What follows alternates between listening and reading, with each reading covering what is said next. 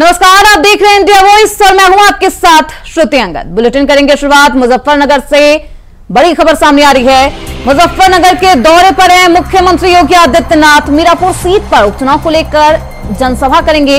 Morna inter college में विशाल जनसभा को करेंगे संबोधित। मुख्यमंत्री योगी वोटर्स के साथ कॉलेज में करेंगे बातचीत। रालोद, सुप्रीमो जयंत चौधरी भी सभा में होंगे मौजूद।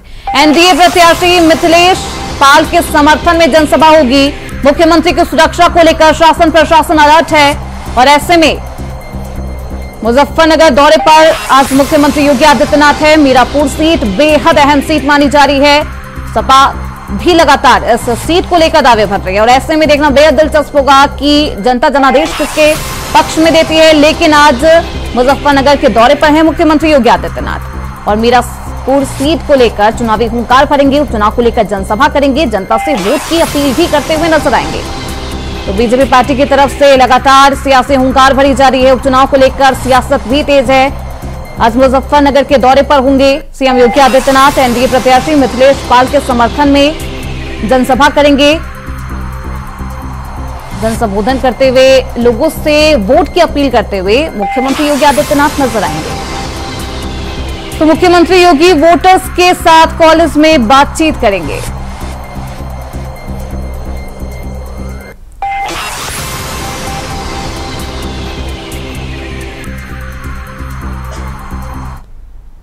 वहीं गाजियाबाद से बड़ी खबर सामने आ रही है। सीएम योगी आदित्यनाथ का गाजियाबाद दौरा, उपचुनाव में पन्ना प्रमुखों के संग करेंगे अहम बैठक। बीजेपी कार्यकर्ताओं को संबोधित करते हुए करेंगे मार्गदर्शन। और शाम चार बजे सरस्वती शिशु मंदिर स्कूल में करेंगे बैठक। मतदान से पहले होगा रोड शो और जनसभा। तो गाजियाबाद चुनाव को लेकर हुंकार भरते हुए सीएम योगी आदित्यनाथ नज़र आएँगे। बेहद सक्रिय नज़र आ रहे हैं सीएम योगी। और ऐसे में बीजेपी कार्यकर्ताओं को संबोधित करेंगे। जीत का मंत्र देते हुए नज़र आएँगे। गाजियाबाद वो सीट है जहाँ बीजेपी का सालों से दबदबा है। और ऐसे में सपा भी यहाँ पर ज़ोर आजमाइश करती हुई नज़र आ रही है। कुछ दिन पहले ही सपा प्रमुख अखिलेश यादव गाजियाबाद के दौरे पर थे। उन्होंने भी अपने कार्यकर्ताओं को जीत का मंत्र दिया था और एक बार फिर अब सीएम योगी चुनावी हुंकार भरेंगे गाजियाबाद में। गाजियाबाद सीट बीजेपी के लिए बेहद महत्वपूर्ण सीट और साथ ही साथ ये बेहद सेफ़ सीट मानी जाती है। ऐसे में आज इस सीट को लेकर चुनावी हुंकार भरेंगे। सीएम योगी कार्यकर्ताओं, नेताओं के साथ बैठक करेंगे। तो चुनाव में पन्ना प्रमुखों के संग बैठक करेंगे। बेहद अहम बैठक की मानी जा रही है। बीजेपी कार्यकर्ताओं को संबोधित भी करते हुए मार्गदर्शन देने का काम करे। तो शाम चार बजे सरस्वती शिशु मंदिर स्कूल में ये बैठक की जाएगी। हमारे साथ हमारे संवाददाता प्रवीण कुमार, ज़्यादा जानकारी के साथ हमारे साथ जुड़ चुके हैं। प्रवीण, कितने बजे सीएम योगी गाजियाबाद पहुँचेंगे? आगे का क्या कुछ कार्यक्रम रहने वाला है? जी श्रुति आपको बता दें आज प्रदेश के मुख्यमंत्री जो है पश्चिमी उत्तर प्रदेश के दौरे पे जिससे वो आज जो है गाजियाबाद के इंडियन एयरपोर्ट पे उतरेंगे उसके बाद मुजफ्फरनगर जाएँगे। मुजफ्फरनगर के बाद वो मुरादाबाद के बाद गाजियाबाद से तीन बजकर पच्चीस मिनट तक गाजियाबाद पर आएँगे और चार बजे जो है वो कार्यकर्ता को संबोधित भी करेंगे। दरअसल आपको बता दें बीस नवंबर को जो है उपचुनाव की जब तारीख का ऐलान हुआ था उसके बाद लगातार सभी जो है पार्टी के अपने जो नेता है वो लगातार जो है गाजियाबाद दो सीटों पे होने वाले उपचुनाव पर लगातार अपना कार्यक्रम रख रहे हैं और चुनाव प्रचार में लगे हुए हैं। ऐसे में आज प्रदेश के मुख्यमंत्री खुद आज चार बजे जो है गाजियाबाद में एक सम्मेलन करने जा रहे हैं जिसमें पन्ना प्रमुखों की वो मीटिंग लेंगे और उनको जो जीत का मंत्र देंगे। बिल्कुल गाजियाबाद सीट प्रवीण बेहद अहम सीट मानी जाती है और सबसे सुरक्षित सीट बीजेपी के लिए। क्या कुछ ऐसे में बीजेपी की तरफ़ से रणनीति बनाई गई है। आपको बता दरअसल बीजेपी जो लगातार यहाँ से सात सालों से जो है यहाँ पर कब्जे में यहाँ के बीजेपी के ही प्रत्याशी जो है सांसद बीजेपी के ही हैं और जो विधायक है वो भी बीजेपी के ही हैं। जो सांसद जो अतुल अगर जो अतुल अगर अतुल जो गर्ग हैं वो विधायक थे उनके जीतने के बाद जो है यहाँ की सीट खाली हुई थी। जिसके बाद इन्होंने बाद के बीजेपी महानगर अध्यक्ष संदीप शर्मा को यहाँ से प्रत्याशी बनाया और लगातार जो है स्टार प्रचारकों का यहाँ जमावाड़ा लग रहा है गाजियाबाद में क्योंकि जो है लगातार जो है कड़े की टक्कर देखने को मिल रही है। त्रिकोणी मुकाबला इस बार गाजियाबाद के उपचुनाव में होने वाला क्योंकि दरअसल इस बार जो है सपा की जो गठबंधन है कांग्रेस के साथ इंडी गठबंधन का जो प्रत्याशी है वो तो एक दलित समाज से आते हैं जो कि सिंहराज जाटव है और बसपा ने जो इस बार देखते देखते समाज के प्रत्याशी पर विश्वास करते हुए उन्होंने उनको प्रत्याशी बनाया। वही हम्म। तीसरा प्रत्याशी जो है बीजेपी का संदीप शर्मा इन तीनों के बीच में कांटे की टक्कर देखने को मिल रही हम्म। है और लगातार जो इसका प्रचारक गाजियाबाद में अपना दौरा कर रहे हैं ऐसे में मुख्यमंत्री जो आज आ रहे हैं कार्यकर्ताओं में दो घंटे का काम करेंगे और हम्म। उसके बाद जो उनको इसका मंत्र देके जाएँगे बिल्कुल आज जोश भरने की कोशिश की जाएगी चुनावी हुंकार भरेंगे जीत का मंत्र भी सीएम योगी आदित्यनाथ कार्यकर्ताओं को देते हुए नज़र आएँगे दिलचस्प ये है क्योंकि दलित कार्ड इंडिया गठबंधन में आ, इंडिया गठबंधन ने खेला। ऐसे में कितना दिलचस्प ये मुकाबला साथ ही साथ क्या वोटर्स को सेंध वोटर्सों में सेंध लगा पाएगी समाजवादी पार्टी इंडिया गठबंधन? यहाँ से जो गठबंधन का जो प्रत्याशी है वो दलित समाज से है सिंगराज यादव है जो कि सपा पार्टी का जो मूल मंत्र है कि पीडीए पिछड़ा दलित अगर इसको तीनों को रखते हुए उन्होंने इस बार जो है दलित समाज के प्रत्याशी पर विश्वास जताया और लाइन पास क्षेत्र के ये प्रत्याशी प्रत्याशी जो कि लाइन पास क्षेत्र में चार लाख से ज़्यादा वोटर हैं, और पूरे अगर गाजियाबाद सीट की बात करें तो यहाँ पर आठ लाख से भी ज़्यादा वोटर जिसमें से आधे वोटर जो लाइन पास क्षेत्र से आते हैं इसको देखते हुए जो इस बार प्रत्याशी जो है, करीब सत्तर बीजेपी को देने वाले में, ऐसे में जो संजीव शर्मा लाइन पास क्षेत्र के न होते हुए उन्होंने अपना निवास लाइन पास क्षेत्र में वोटरों को लुभाने के लिए किया इसलिए इस वजह से जो है इस बार कांटे का मुकाबला देखने को मिल रहा है कि दोनों प्रत्याशी जो है सपा के वो भी लाइन पास क्षेत्र से आते हैं और जो संजीव शर्मा है वो लाइन पास क्षेत्र से नहीं आते। इस तरीके से जो काफिया जो है जो सपा जो है बीजेपी के वोटरों में सेंध लगाने का काम कर सकती है। बिल्कुल वोटों में सिंधमारी की कोशिश क्या कामयाब रहती है देखना बेहद अहम होगा। साथ ही साथ आज चुनावी हुंकार भरेंगे दिलचस्प ये है क्योंकि गाजियाबाद सीट बीजेपी का दबदबा माना जाता है, कितना दिलचस्प है यहाँ का सियासी इक्वेशन जी, दरअसल आपके यहाँ जो मुख्यमंत्री जो आएँगे, पिछली बार ये दौरा करने गए थे, लेकिन इस बार चार बजे का जो उनका दौरा है नेहरू नेहरू नगर के युवा सरस्वती शिक्षा मंदिर में होगा।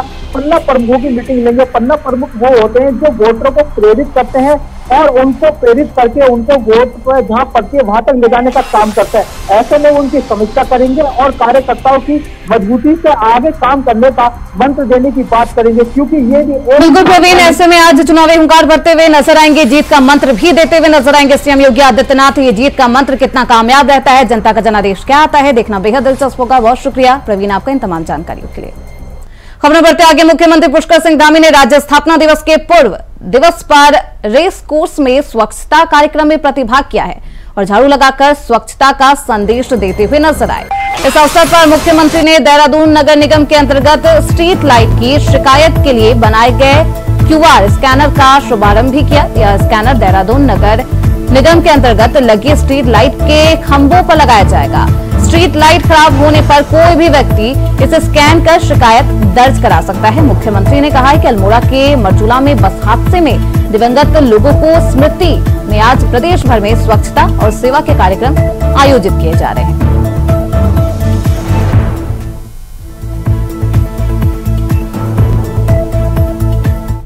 राज्य स्थापना दिवस की आज पूर्व संध्या है। एक दिन पहले हम सब लोगों ने, हमारे प्रधानमंत्री आदरणीय मोदी जी के नेतृत्व में पूरे देश के अंदर स्वच्छ भारत अभियान चला था और उसके 10 वर्ष पूरे हुए हैं। निरंतरता से देश स्वच्छता की ओर आगे बढ़ा है और हमारा राज्य पर्यटन की दृष्टि से, श्रद्धालुओं की दृष्टि से तीर्थ यात्रियों की दृष्टि से पूरे देश दुनिया के लोग यहाँ आते हैं।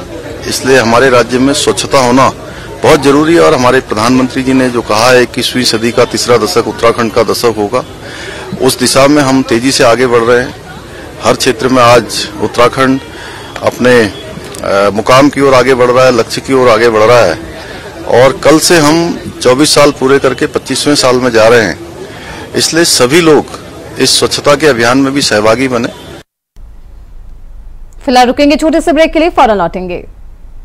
ब्रेक के बाद एक बार फिर से आप सभी का स्वागत है। खबरों में बढ़ते आगे। बॉलीवुड के सुपरस्टार शाहरुख खान को जान से मारने की धमकी। मिलने की खबर राजधानी में आग की तरह फैल गई है। मुंबई पुलिस अलर्ट हो गई है। इस पर मुंबई पुलिस उन्हें समन देकर लौट गई है। शाहरुख खान के घर मन्नत की सुरक्षा बढ़ा दी गई है। शाहरुख खान को धमकी रायपुर से दी गई है। इस मामले पर मुंबई पुलिस ने फैजान नाम के शख्स से राजधानी के पंडारी थाने में पूछताछ भी की है। इंडिया वॉइस के संवाददाता मनोज शुक्ला से खास बातचीत की है। रायपुर सीएसपी आईपीएस अजय कुमार ने क्या कुछ बताया? दो तारीख को मोबाइल चोरी हो गया था। उसकी उसकी उसकी, उसकी कंप्लेंट दी इधर उसकी कंप्लेंट दी हुई मैंने खमाड़ी पुलिस स्टेशन में। हाँ और पाँच तारीख पाँच तारीख किसी ने कॉल कर दिया शाहरुख खान को कि पचास लाख दो नहीं तो जान से मार देंगे। तो उस पर एक मुंबई पुलिस आई थी रायपुर यहाँ पे मुझसे पूछताछ करने के लिए। मेरे घर पे आए थे फिर मैं खुद पुलिस स्टेशन गया अपना मोवा पुलिस स्टेशन में। तो करीबन एक दो घंटा पूछताछ की उन्होंने मुझसे। मेरा स्टेटमेंट दिया मेरा फिर अब चौदह तारीख को वहाँ मुंबई बुलाया मुझको वहाँ पे उन्होंने। तो वहीं फैजान का कहना है कि मुझे फंसाया जा रहा है। ये साजिश के तहत उसे फंसाया जा रहा है। लगातार बॉलीवुड के दिग्गज एक्टर को जान से मारने की धमकी मिल रही है। सलमान खान को मिल चुकी है और अब सुपरस्टार शाहरुख खान को भी जान से मारने की धमकी मिली है। इस खबर पर ज़्यादा जानकारी के साथ हमारे संवाददाता मनोज शुक्ला हमारे साथ जुड़ चुके हैं। मनोज, क्या कुछ जानकारी है? सुपरस्टार शाहरुख खान को जान से मारने की धमकी मिली। क्या कुछ अभी तक प्रशासन की तरफ़ से कार्रवाई की गई? जी श्रुति आपको बता दूँ खुशी की जिस समय ये राजधानी रायपुर में ये जानकारी मिली कि शाहरुख खान को कोई जान से मारने की धमकी दिया है और वो रायपुर का निवासी है पूरे रायपुर में एक दहशत सी मच गई और लोगों में ये उत्सुकता देखने को मिली कि कौन व्यक्ति है किस प्रकार से। और आपको बता दूँ कि महाराष्ट्र की बांद्रा थाने की पुलिस भी रायपुर आ चुकी थी इस मामले की छानबीन करने। तो इसको लेकर जो है यहाँ पर पूरे पूरा दिन जो है चर्चा का विषय बना रहा कि आखिरकार शाहरुख खान जो है बॉलीवुड सुपर स्टार अभिनेता माने जाते हैं तो ऐसे में निश्चित रूप से जनता में ये उत्सुकता देखने को मिली कि कौन शख्स है जो इनको धमकी दिया शाहरुख खान को और क्यों मारना चाहता पूरी जानकारी लेने के लिए जो है रायपुर की जनता का सुबह से जो है इसी मुद्दे को लेकर काफ़ी चर्चा का विषय बना रहा है। आपको बता दूँ कि फैजान नाम के व्यक्ति द्वारा जो है ये वहाँ पर महाराष्ट्र की पुलिस का आरोप था कि फैजान नाम के व्यक्ति के मोबाइल से ये शाहरुख खान को ये धमकी दी गई कि पचास लाख रुपया दो, या जान से मार दिए जाओगे। तो और वही फैजान फैजान जो है एडवोकेट है उनसे उनके, उनका बयान सामने आया कि उनके मोबाइल दो तारीख को गायब हो गई थी। जिसकी रिपोर्ट उन्होंने राजधानी के खमाडी थाने में दर्ज भी कराई थी जिसकी एफ़ आई आर की काफ़ी भी उन्होंने जो है मीडिया को दिखाया और साथ ही साथ जो है उन- उनका का आरोप था कि हमारी मोबाइल दो तारीख को गायब हुई है और ये घटना जो महाराष्ट्र पुलिस द्वारा बताई जा रही है पाँच तारीख की घटना है। तो महाराष्ट्र पुलिस लगभग दो ढाई घंटे के पूछताछ के बाद जो है फैजान नाम के व्यक्ति को छोड़ दी और उनको बॉम्बे जो है चौदह तारीख को उनको बॉम्बे तलब की है। बिल्कुल इस बात पूरे मामले फैजान को हिरासत में लिया गया है लेकिन फैजान का साफ़ तौर पर कहना है कि उसे साजिश के तहत फंसाया जा रहा है। सवाल ये है मनोज क्योंकि अब फैजान को हिरासत में ले जा ले लिया गया है अब आगे की पुलिस प्रशासन कार्रवाई किस तरीके से करेगी? क्योंकि फैजान लगातार इस पूरे मामले पर झाड़ता हुआ नज़र आ रहा है और कहा भी है कि उसका मोबाइल चोरी हो गया था उसके पास उसका मोबाइल फ़ोन नहीं था जिससे धमकी भरा मैसेज और फ़ोन कॉल गया। जी श्रुति बिल्कुल। श्रुति जब महाराष्ट्र पुलिस को खमाडी थाने का एफ़ आई आर जो है फैजान द्वारा दिखाया गया तो उनसे दो ढाई घंटे की पूछताछ के बाद फैजान को पुलिस ने महाराष्ट्र पुलिस ने छोड़ दिया है। और उनको चौदह तारीख को फिर से वहाँ मुंबई बुलाया है पूछताछ करने के लिए। तो अब और वही फैजान का आरोप है की सलमान खान द्वारा एक फ़िल्म में हिरण मारने की बात सामने आई थी जिसमें जिस पर इन्होंने भी टीका टिप्पणी की थी उसी बात की दुश्मनी निकालने के लिए हम पर ये आरोप लगाया जा रहा है और हम इस मामले में बिल्कुल हम इन्वॉल्व नहीं है और मैं चौदह तारीख को वहाँ जाऊँगा महाराष्ट्र पुलिस को पूरा सहयोग भी करूँगा। जी। तो बिल्कुल फैजान का कहना है कि वो पुलिस प्रशासन का सहयोग करेगा। क्या फैजान के अलावा पुलिस प्रशासन को कोई और लीड मिली है मनोज?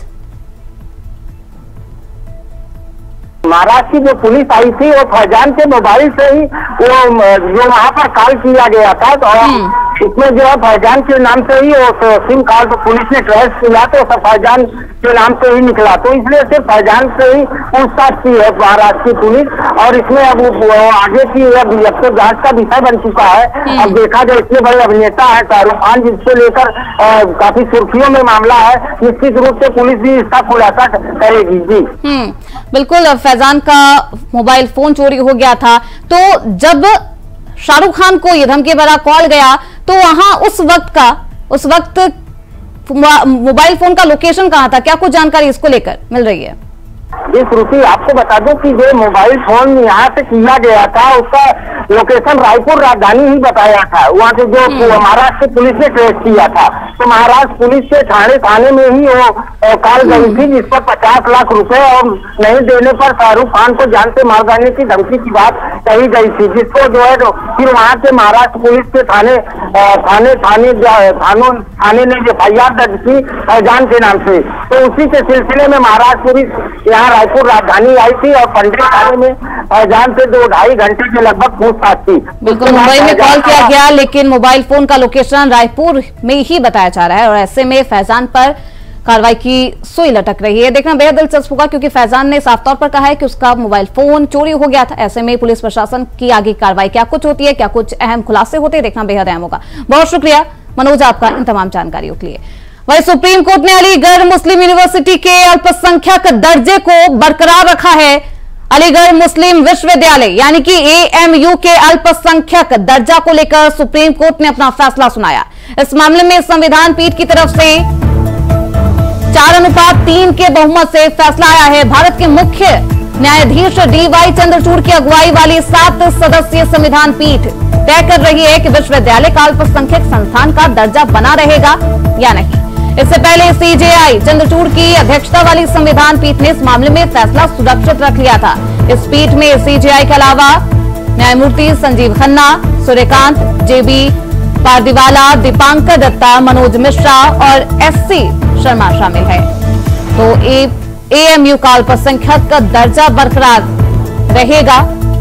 तो संविधान पीठ की तरफ़ से बहुमत तो माइनॉरिटी स्टेटस बरकरार रखने को ही मिली है। बहुमत में ही फैसला आया है। तो सुप्रीम कोर्ट की दूसरी बेंच आज सुनवाई भी करेगी। और ऐसे में क्या कुछ फैसला आता है, देखना बेहद अहम होगा। तो संविधान पीठ की तरफ़ से चार अनुपात तीन, यानी कि बहुमत माइनॉरिटी के फैसले में ही आया है। और ऐसे में अल्पसंख्यक का दर्जा बरकरार रहेगा, जिसको लेकर एएमयू के टीचर्स और छात्रों में भी खुशी की लहर है। हालाँकि एएमयू विश्वविद्यालय के परिसर के आसपास और पूरे इलाके में पुलिस प्रशासन की भी तैनाती की गई है। तो इस खबर पर ज़्यादा जानकारी के साथ हमारे संवाददाता मोहम्मद शहनवाज हमारे साथ जुड़ चुके हैं। शहनवाज, क्या कुछ जानकारी सुप्रीम कोर्ट की दूसरी बेंच आज सुनवाई करेगी? और बहुमत का फैसला एएमयू के माइनॉरिटी स्टेटस को लेकर आ रहा है।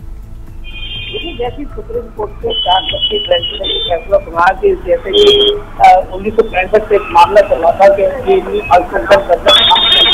नहीं, जैसे ही ये चार जज ने फैसला सुना कि अभी अभी सुनवाई करके एनयू दर्जा प्राप्त रहेगी जिसके बाद ही एनयू परिषद पूरे एनयू के छात्रों के द्वारा इस पूरे मिठाई बांट कर और पटाखे फुलझड़ियाँ जलाकर तस्वीर का मनाया जा रहा है और आप लोग पीछे तस्वीर में देख सकते हैं कि एरियो में एक जंगल का माहौल है। तो वही अगर एवी आपकी बात करें और एवी शहरवाज सुप्रीम कोर्ट ने ये फैसला सुनाते हुए क्या कुछ टिप्पणी दी क्या कुछ दलील दिया गया? क्योंकि हाईकोर्ट के फैसले को पलट दिया गया है सुप्रीम कोर्ट में ऐसे में क्या कुछ दलील दी गई देखिए उसके ऊपर सीधा एबी प्रशासन का ये कहना कि जिस तरीके से हाईकोर्ट सुप्रीम कोर्ट के द्वारा फैसला आया है उसका हम्म। भी एक सम्मान करते हैं और हम्म। आगे जो फैसला अभी रह गया है और अभी सुनवाई पर होगा कहीं ना हम्म। कहीं उनको इस बात को लेकर पूरा भरोसा है कि ये फैसला उन कहीं ना कहीं उनके पक्ष में आएगा और एमयू तो सात जजों के बेंच ने बहुमत का फैसला माइनॉरिटी स्टेटस को लेकर सुनाया है। आप शहनवाज एएम यूनिवर्सिटी के पास ही है मौजूद। ऐसे में क्या कुछ वहाँ पर हलचल है? छात्रों में कैसी खुशी? छात्रों के द्वारा मिठाइयाँ बांटकर एक खुशी का इजहार किया जा रहा है छात्र हम्म। एक दूसरे को मिठाई बांट खुशी का इजहार करते हुए नज़र आ रहे हैं तो वहीं एवी प्रशासन के द्वारा भी इस मामले को लेकर कहा गया कि जिस तरीके से ये फैसला आया है कहीं ना कहीं उसका इस्तेमाल करते हैं और आने वाले फैसले का भी हम इंतज़ार करेंगे जिसके बाद इनका ये मानना है कि ये फैसला कहीं ना कहीं एमयू के पक्ष में आएगा जिसके हम्म। आतिशबाजी भी की जा रही है। और एमयू के जो छात्र छात्रा एक दूसरे को आपस में मिठाई बांट कर खुशी का इजहार करते हुए नज़र आ रहे हैं। बिल्कुल ऐसे में एएमयू को अल्पसंख्यक का दर्जा मिलेगा। ये फैसला सुप्रीम कोर्ट में लिया गया ऐसे में खुशी की लहर है एएमयू में। हालाँकि प्रशासन की तरफ़ से चाक चौबंद व्यवस्थाएँ भी की गई है ताकि क्योंकि अगर पक्ष में फेवर में फैसले नहीं आते तो शहनवाज, स्थिति कुछ और होती है। ऐसे में पुलिस प्रशासन की तरफ़ से पूरी तैयारी की गई है। तो सुप्रीम कोर्ट की दूसरी बेंच भी सुनवाई करेगी। हालाँकि इलाहाबाद हाईकोर्ट के फैसले को पलट दिया है सुप्रीम कोर्ट ने और एएमयू का अल्पसंख्यक का दर्जा बरकरार रखा है। ऐसे में एएमयू की जो परिसर है, उसमें पुलिस प्रशासन की तैनाती की गई है। तमाम तरीके से सुरक्षा व्यवस्था को चाक चौबंद भी किया गया है। सुप्रीम कोर्ट की दूसरी बेंच आज सुनवाई भी करेगी। यह सुनवाई भी बेहद अहम होगा। हमारे साथ हमारे संवाददाता शाहनवाज लगातार बने हुए हैं। शहनवाज, अगर फैसला विपरीत आता, यानी कि फेवर में नहीं आता एएमयू के तो क्या कुछ माहौल हो सकता था? और पुलिस प्रशासन की कैसी व्यवस्था वहाँ पर? क्या कुछ दिख रहा है? की बात करें तो जैसे ही जेपी प्रशासन और प्रशासन को पता पड़ा कि रहा है उसके बाद कर दिया गया। कैंपस में चार ओर पुलिस और पीएससी बल को तैनात कर दिया। सुरक्षा व्यवस्था को मद्देनजर रखते हुए चार सौ के लिए लगाकर रूट डाइवर्ट कर दिए इसी के साथ अगर बात करें फैसले की अगर फैसला क्या आने वाला तो उस पर एमी प्रशासन साफ़ तौर पर कहना है कि जिस तरीके से फैसला अल्पसंख्यक प्राप्त को लेकर आया आने वाला हम्म। फैसला भी एमयू के हक में आएगा और उसका फैसला भी जो आएगा उसका हम इस्तेमाल करेंगे। हम्म। शहनवाज बहुत शुक्रिया इन तमाम जानकारियों के लिए। तो माइनॉरिटी स्टेटस एएमयू का बरकरार रहेगा। यह फैसला सुप्रीम कोर्ट की तरफ़ से आया है। ऐसे में एएमयू परिसर में हलचल भी तेज है। पुलिस प्रशासन की चाक चौबंदी भी। लगातार बढ़ाई गई है। आप देख सकते हैं किस तरीके से एएमयू परिसर के इर्द गिर्द पुलिस प्रशासन की सख्ती है और फैसला एएमयू के पक्ष में आया है। माइनॉरिटी स्टेटस एएमयू का बरकरार रहेगा। फ़िलहाल इसी के साथ, इस बुलेटिन में बस इतना ही। देखते रहिए इंडिया वॉइस